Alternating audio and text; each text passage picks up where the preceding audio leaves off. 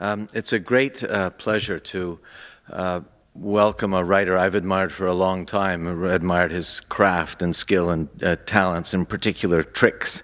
Uh, Sebastian Junger is, is one of the most acclaimed journalists in the world. He was born in 1962, alas, uh, after me, and uh, came, after many of us, in fact, uh, came to public attention, a massive public attention, uh, with the best selling The Perfect Storm in 1997 about the 1991 uh, sinking of the Gloucester fishing trawler, the Andrea Gail. Uh, it was made into a massively popular film, which I'm sure everybody saw. Uh, he is, however, almost as famous for his other journalism, uh, which includes his second book, uh, Death in Belmont, which is a re examination and uh, surprising re encounter uh, with the Boston Strangler murders. Uh, his third book is Fire, a collection of essays about places and people. It is much, much, much safer uh, to read about than it is to actually visit. Uh, among them, uh, Sierra Leone, where he investigates the deadly diamond trade, uh, Idaho, where he followed uh, firefighters in the blazing uh, forest, Kosovo to write about genocide, and many tours in Afghanistan. Uh, his most recent book is set, is set in Afghanistan. It's called War. It follows one platoon of soldiers for more than a year in one of the most dangerous forward outposts in Afghanistan to find out why men like to fight. It turns out they do. Uh, his the book is accompanied by a documentary, Restrepo, which uh, won the two, uh, 2010 Grand Jury uh, Prize at the um, Sundance Film Festival. Uh, Mr. Junger has won a National Magazine Award and the SAS Novartis Prize for Journalism, which is no mean feat. He lives in New York City with his family. Would you please give him a very warm welcome?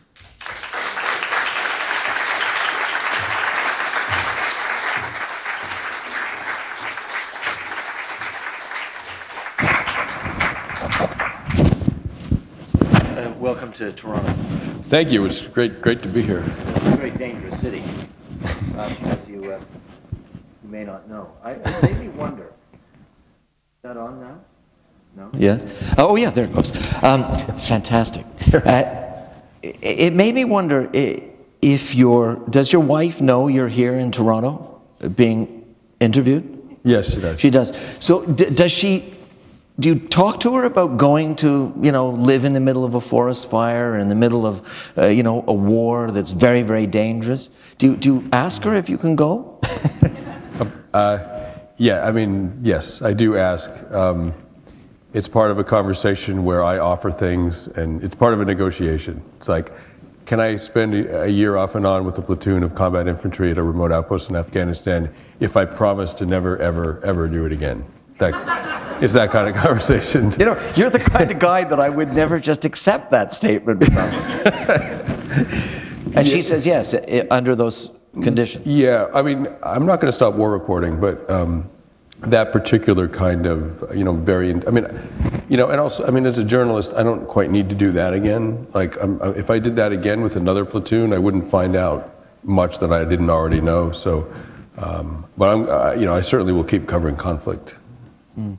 You know, in Fire, uh, which is a book of essays, a great book of essays, but one of the, uh, the, the introduction, I think, to, the, to that book begins with you talking about how you wanted to do something that scared you.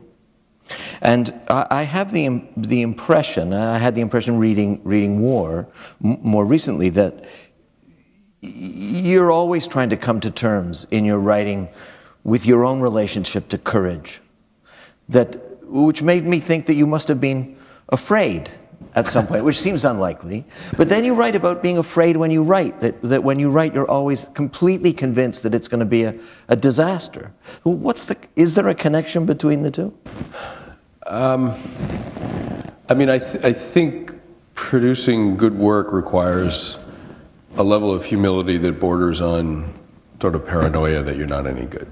And once you start to get to the point where you're pretty confident this is good, you're, I think you're at risk of actually not working that well. So, uh, but to sort of aspects of physical danger, um, I mean, I, you know, I, I grew up in a very safe suburb of Boston. And um, I wasn't presented with physical threats, physical challenges, except the ones that I created myself.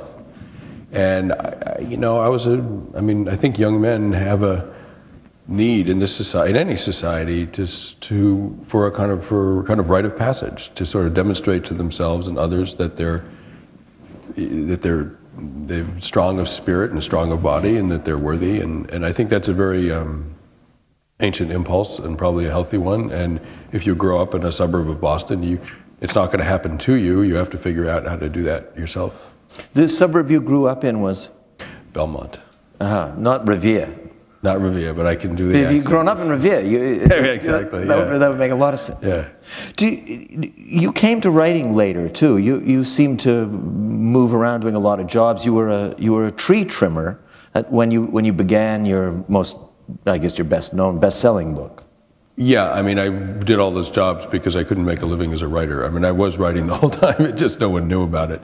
Um, I. Uh, I was a yeah I was a climber for tree companies. Um, I took trees down. It was a very challenging and frightening job, and um, one of the most dangerous jobs around, isn't it? A, well, a tree it's, trimmer. It's very dangerous if you're not good at it. You know, it. it, it uh, I um, and, and, that was where I mean I was an athlete in college, and I figured out, and this co- did come into play in Afghanistan. I figured out how to have a relationship with pain. I mean, I was an endurance athlete. I was a, I was a distance runner.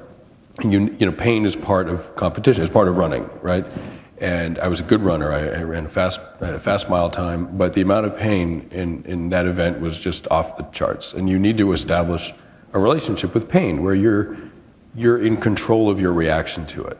And um, and you also, as a reporter, you need to do that with fear. As a as a as a war reporter, you need to do that with fear. And I first learned that doing tree work. I'd work 80 feet in the air with a chainsaw. I got injured doing it. It was very scary. The fear is not going to go away. It shouldn't go away. Um, it's what keeps you safe. But you have to set up, you have to establish a relationship with it, like with a little kid, where you're in control, not it. And I first learned how to do that with tree work.